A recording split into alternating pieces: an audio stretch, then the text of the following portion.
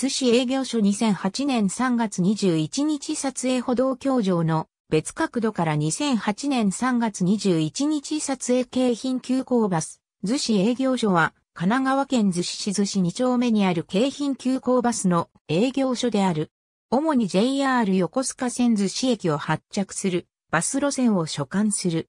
営業所は逗子駅脇に立地し、京急逗子線逗子、葉山駅南口近くに第2車庫を有する。営業所記号は D。2007年12月1日からパシモが使用可能になった。三浦半島北西部にある逗子市と隣の葉山町の陸上交通は、その先にある大楠町、長井町や初越村、三崎町とともに、1889年に横須賀駅まで開通した関鉄横須賀線への接続を前提に近代化への道を歩み始める。関鉄逗子駅で接続して、葉山や大楠、長井を経て遠く、岬まで足を伸ばす、乗り合い馬車の路線が開通し、1912年には最初の乗り合い自動車会社として逗子自動車が運行を開始する。逗子自動車の最初の路線は逗子駅から葉山御用邸を経由して長者ヶ崎というもので、現在の海岸線に近いものだった。同じ頃、逗子と船越の間を結ぶ湘南乗り合い自動車も創業。湘南乗り合いの路線は現在の田浦線の源流と言えるものである。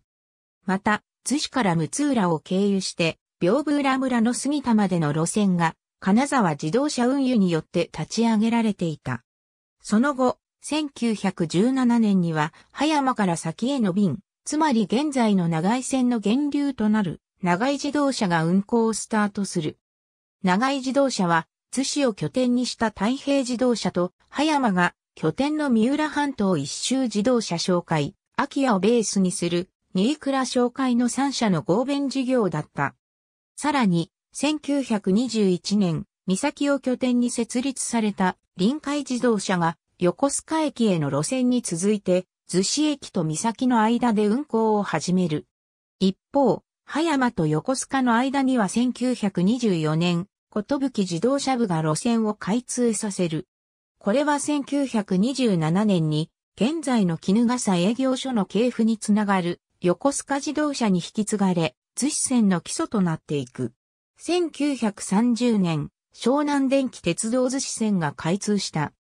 湘南電鉄は逗子線を葉山や長井を経由して岬まで延長する構想も持っていたため、鉄道専攻と培養の意味も込めて、三浦半島西部でのバス事業に参入することを決めるとともに、乱立していた事業者を整理する方針を打ち出す。しかし、開通当初の湘南電鉄には資金力がなかったため、親会社となった京浜電気鉄道が乗り合い各社を買収していく形をとる。京浜電鉄はまず、三浦半島一周自動車を買収して、半島一周自動車運輸商会と解消する。同じ頃、葉山御用邸に向かう昭和天皇や皇族の足を改善するため、行幸道路が開通。長井線は行幸道路経由となり、海岸線に残っていた乗り合い馬車も一掃された。翌1931年には、臨海自動車が京浜電鉄の参加に入る。さらに、半島一周自動車運輸商会を独立の法人とするため、半島自動車株式会社を設立した。1935年、鎌倉営業所の前身である鎌倉乗合自動車も京浜の参加に入ってきた。三浦半島西部には京浜を親会社とする3つのバス会社が存在することになり、効率化を目的に1938年、3社を発展的に解消した新会社湘南半島自動車がスタート。津市、鎌倉、三崎の3営業所の直接の前身がここに誕生した。その後、湘南半島自動車には、神奈川中央交通の前身の一つである、東海道乗り合い自動車から統合の持ちかけがあったものの、京浜電鉄の猛反対で破談。そして、1941年11月に、京浜電鉄は、湘南半島自動車を九州合併し、鎌倉以南の三浦半島のバスは、京浜に一元化された。翌1942年、さらに合併で東急バスの営業所となる。1948年の大東急解体を受け、逗子営業所は京浜電鉄の流れを組んだ京浜急行電鉄に引き渡される。しかし、葉山町の地元有力者の間では、京浜急行という大手鉄道資本の独占に対抗して地場資本のバス会社を再興しようという意思が芽生え始めた。こうして1949年2月、葉山観光自動車株式会社が設立され、同年5月、現在の海岸線を皮切りに営業を開始した。葉山観光自動車は、電気自動車バスを運行、おそらく石油燃料の逼迫のためと思われる。葉山町一式2021付近に車庫と充電所があった。充電にはモータージェネレーターを使用しており、常に回転音が聞こえていた。大電流を流せる清流機が容易に手に入らなかったためと思われる。車酔いに弱い町民には、電気自動車バスは振動が少なく、匂いもないために親しまれていた。ところが、葉山観光は交通機関の運営には全くの素人とも言える出資者が集まったため、数ヶ月で営業不振に陥ってしまい、翌1950年には京急の出資を受け入れ、グループ企業になる。1951年からは、京急とのダイヤ調整が行われるようになる一方で、戦前に臨海自動車が行っていた逗子と三の間の直通便を再開させるなどしたが、決定的な経営改善には至らなかった。1954年、葉山観光は三浦交通株式会社と社名変更した。三浦交通バスは電気自動車を使用せず、すべて内燃機関のバスに変わった。1960年、三浦交通が現在の逗子線に相当する路線を単独で開設。1963年には長井線と田浦線に加えて堀内営業所の八景線の一部区間を組み合わせた逗子、横須賀駅間大循環線の運行を開始した。しかし、昭和40年代に入ると経営状態がさらに悪化。地元出資者が資本を引き上げることになり、1970年9月30日限りで、三浦交通は京急に全事業を上と自社での営業を終了した。こうして、三浦交通の路線だった海岸線、長井線の一部便と田浦線、逗子線が逗子営業所の管轄に組み込まれた。逗子駅と葉山町、横須賀市西部方面を結ぶ路線である。横須賀市南西部の長井まで、三浦半島の相模湾沿いを走り、鉄道空白地帯である同地域の足を担う。特に、葉山と大楠足名口の間では、唯一のバス路線となるほか、神奈川県立海洋科学高校への通学輸送の比重も大きい。逗子駅付近を除き、県道311号、国道134号を走行する。湘南なぎさの丘系統は、京急の分譲地、湘南佐島なぎさの丘への路線で2007年3月16日に開設された。混雑を避けるために、三浦半島中央道路を経由するほか、廃止された直行便には専用塗装の車両が使われていた。分譲開始段階から路線を開設しているため、今後徐々に路線の経路変更やダイヤの改変が行われる。予定である。ちなみに、京浜急行電鉄発行の三浦半島 1D2、D 切符は、湘南なぎさの丘系統では使用できない。当2系統については、海岸線と区別するため、LED 方向幕では、山手回り葉山、山手回り逗子駅と表示する。逗子市南西部、葉山町沿岸部を走る路線である。主に県道24号、県道207号を走行する。津市営業所の中では共愛路線の部類にあたる。当12系統については、平日より、土休日の方が昼間の運行頻度が高くなっている。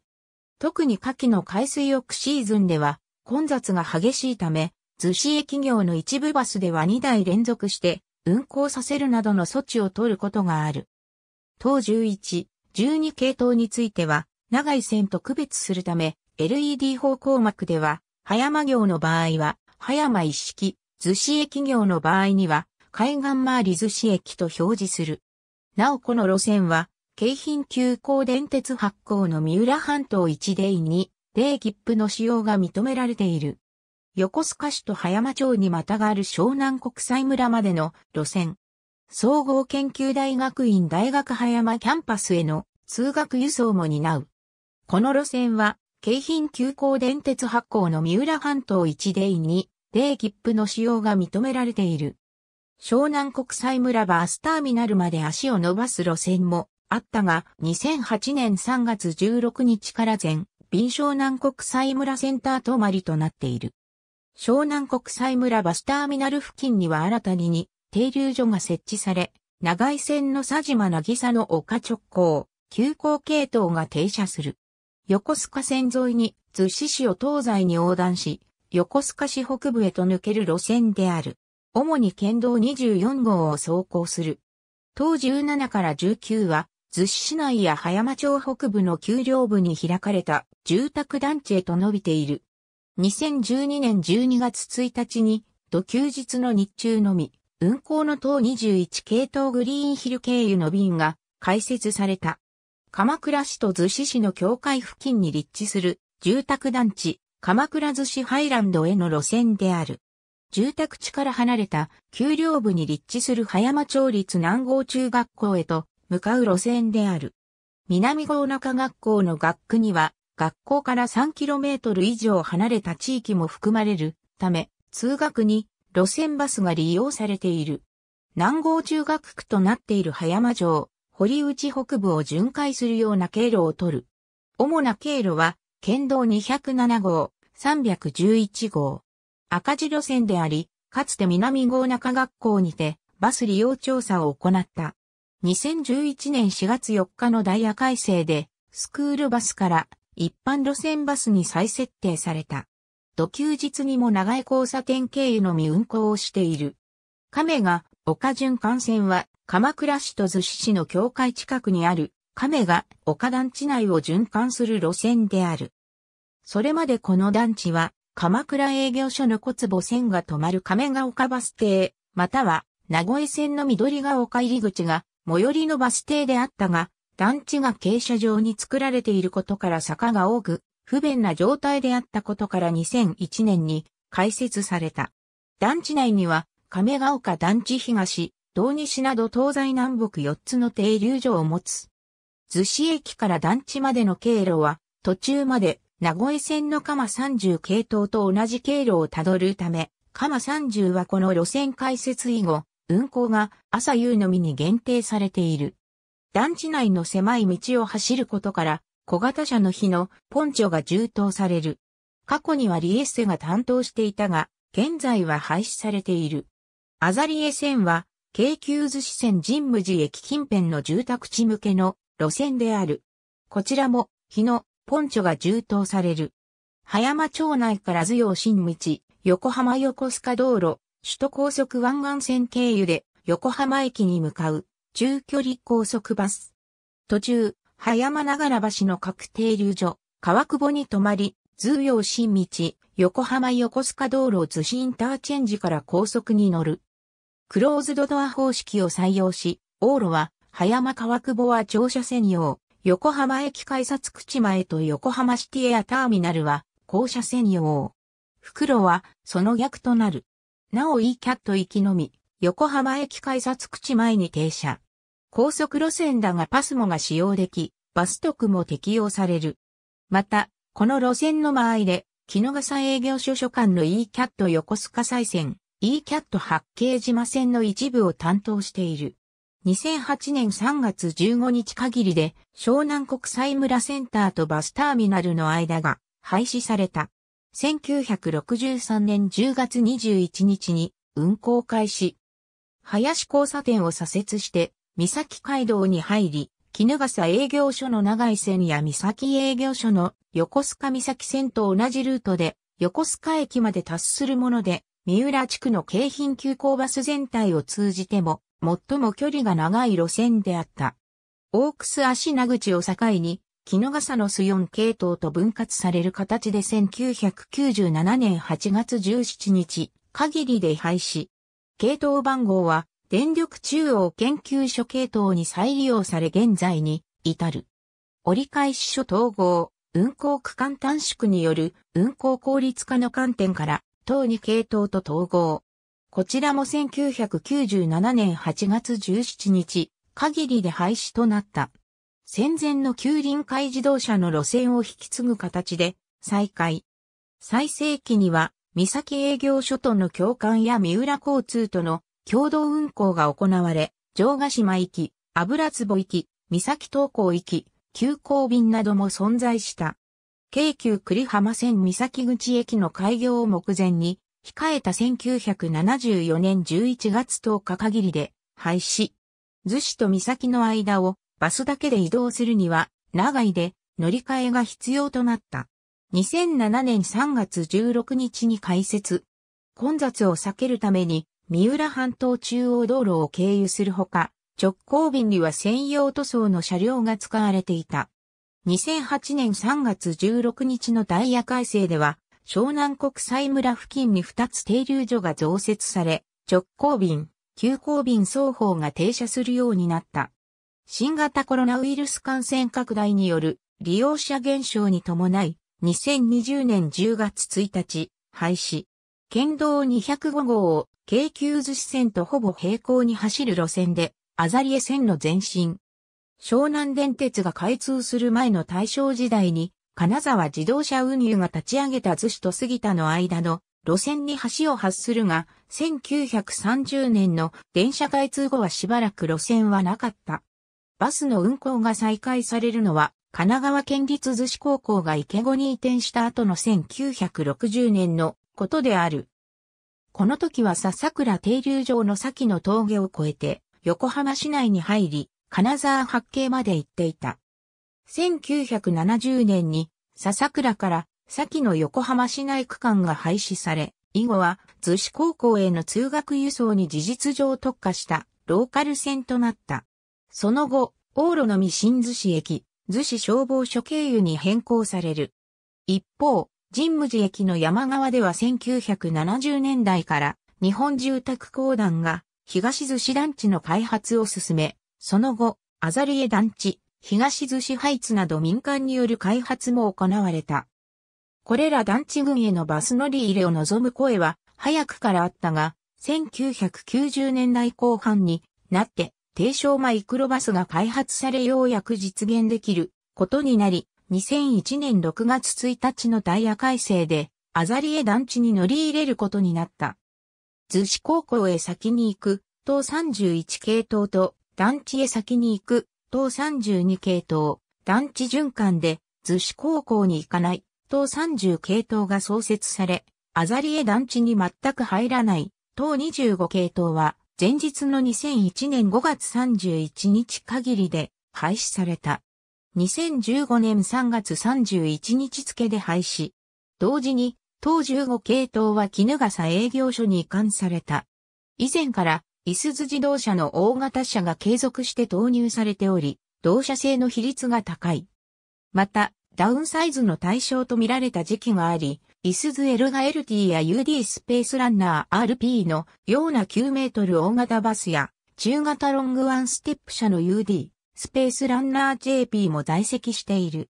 大半の車両がワンステップバスであり、補助金制度が整っていないため、ノンステップバスは小型車の一部しか在籍がなかった。